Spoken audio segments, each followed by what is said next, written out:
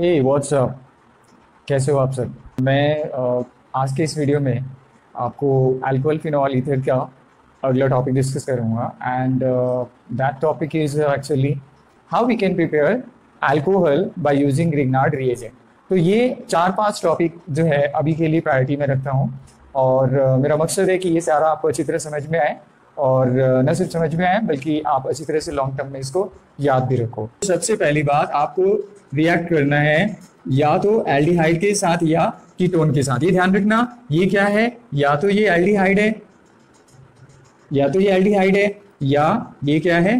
Ketone है। उम्मीद करता हूँ समझ रहे होगे कि ये कैसे है। अगर आप ये दोनों जगह पे क्या करोगे? एच लगा दोगे, या दोनों तरफ़ एक तरफ़ एच लगा दो और एक तरफ़ सी लगा दो तो ये एल्डिहाइड रहेगा। दोनों तरफ़ सी लगा दोगे तो ये कीटोन बन जाएगा। ठीक है तो अब इसको हम रिएक्ट करवा रहे हैं। ग्रिग्नार्ड रिएजेंट जिसका बहुत ही कॉमन सा फॉर्मूला था आर एम जी एक्स तो ये क्या है हमारा? ग्रिगनार्ड रिएजेंट है। ग्रिगनार्ड रिएजेंट ग्रिगनार्ड रिएजेंट का मैं ये कॉमन फॉर्मूला लिख रहा हूँ, उम्मीद करता हूँ कि समझ में आ रहा होगा। अब इस रिएक्शन को देखते हैं कि ये कैसे होता है।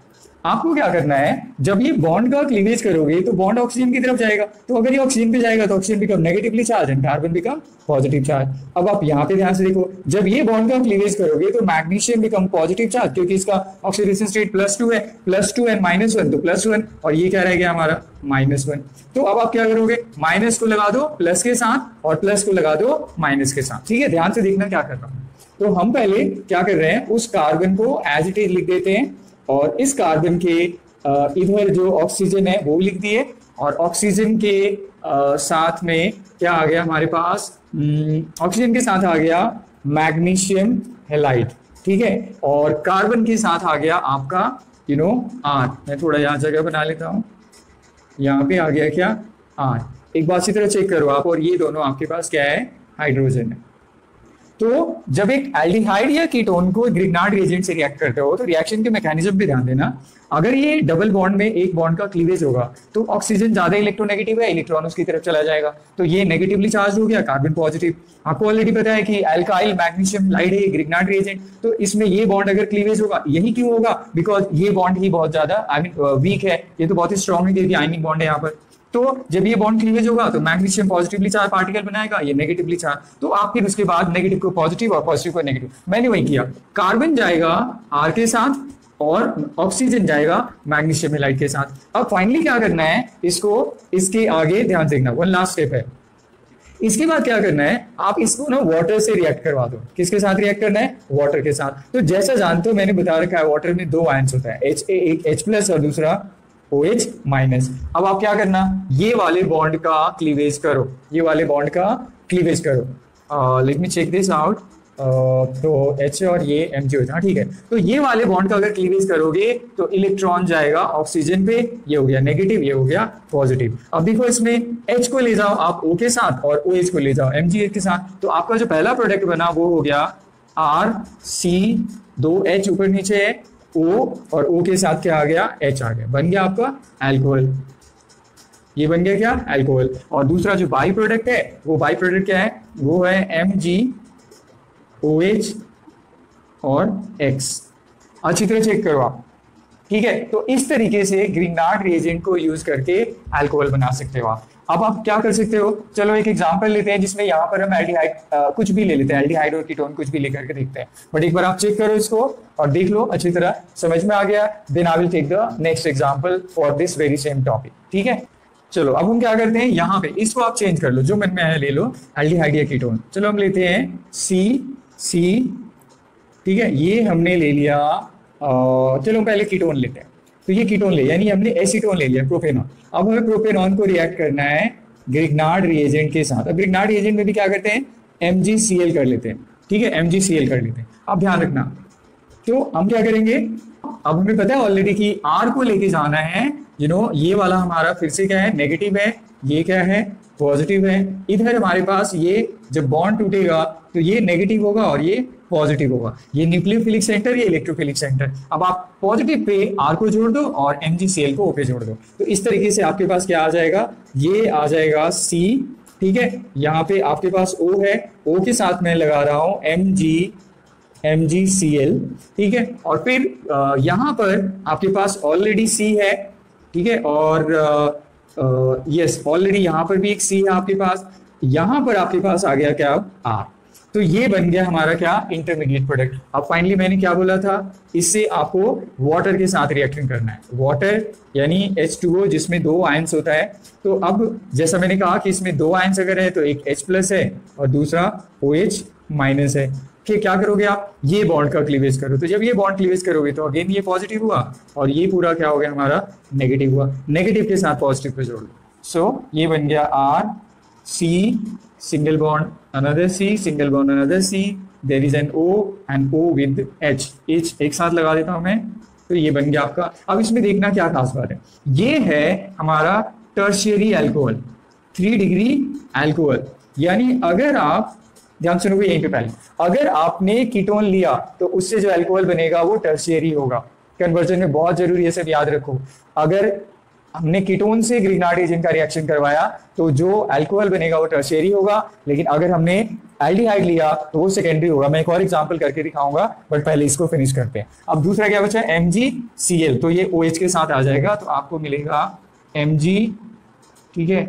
ओ OH और सी एल इसको क्या बोलोगे आप? मैग्नीशियम हाइड्रोक्साइड क्लोराइड तो इस तरीके से आपने अल्कोहल बनाया। तो एक बार फिर से दोबारा रिपीट कर रहा हूँ कि अगर प्राइमरी अगर आप अगर आप एल्डिहाइड लेते हो तो आपको सेकेंडरी अल्कोहल मिलेगा। अगर आप कीटोन लेते हो तो आपको टर्सरी अल्कोहल मिलेगा as per the reaction mechanism ध्यान रखना, ये मैकेनिज्म है।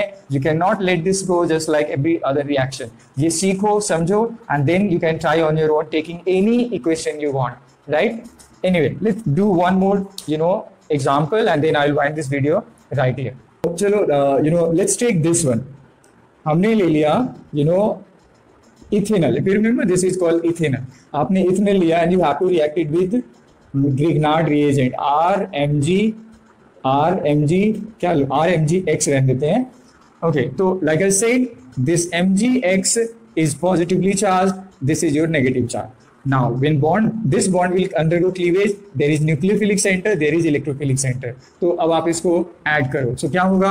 uh, ये आर को आप लेफ़्ट में लिखने की आदत डालो। ठीक है? और ये जो एक्स्ट्रा आर है उसको आप नीचे डाल दिया करो। फिर उसके बाद ये ऑक्सीजन है। ऑक्सीजन के साथ आ गया एम जी ठीक है? एम जी एक्स एंड आगो कार्बन लेफ़्ट एनीथिंग तो दो कार्बन था दो कार्बन हो गया। ये बन गया। अब यहाँ पे आपके पास ऑक्सीजन ये एच आ जाएगा। अब इसके बाद हमने क्या बोला था? इसको आप रिएक्ट करोगे वाटर के साथ। तो जब वाटर के साथ रिएक्ट करोगे, अब तो रट गया होगा कि इसमें दो आयंस होते हैं। ठीक है? तो ये H प्लस आप ये बॉन्ड जब क्लीवेज करोगे तो plus charge and this will be a minus charge क्या ये बताऊँ कि यहाँ पे जो बॉन्ड टूटेगा तो ये क्यों नेगेटिव चार्ज होगा? बिकॉज़ एम और ओ में ऑक्सीजन की इलेक्ट्रोनेगेटिविटी बहुत बहुत ज़्यादा है। तो ऑफकोर्स जब बॉन्ड टूटेगा तो इलेक्ट्रॉन ऑक्सीजन की ओर मूव कर जाएगा। तो इलेक्ट्रॉन ऑक्सीजन की ओर मूव कर जाएगा और ये बन जाएगा एक एल्कोहल तो H प्लस को आप इसके साथ जोड़ दो। तो आपका पहला प्रोडक्ट बनता है R C single bond single bond and O H ठीक है? तो ये सॉरी एक और यहाँ पे था। तो अब अगर थोड़ा ध्यान से देखो, मैं इसको ना और थोड़ा घुमा लेता हूँ। तो समझ में आएगा कि ये क्या बना। ये बना ये बना सेकेंडरी एल्कोहल ये कौन सा एल्कोहल है? सेकेंडरी एल्कोहल तो जैसे मैंने कहा था एल्डिहाइड लेंगे तो सेकेंडरी एल्कोहल बनेगा और कीटोन लेंगे तो अब एक और प्रोडक्ट है, वो भी लिख देते हैं, वो बनेगा M G O H and X तो ध्यान रख लो कि एल्डिहाइड से सेकेंडरी अल्कोहल बनता है और कीटोन से टर्सरी अल्कोहल बनता है। चलो मैं एक बार इसको पॉइंट में कर देता हूँ यहाँ पे। Conclusion is conclusion is aldehyde reduction reduction gives secondary alcohol. Secondary alcohol. Okay now uh, second conclusion.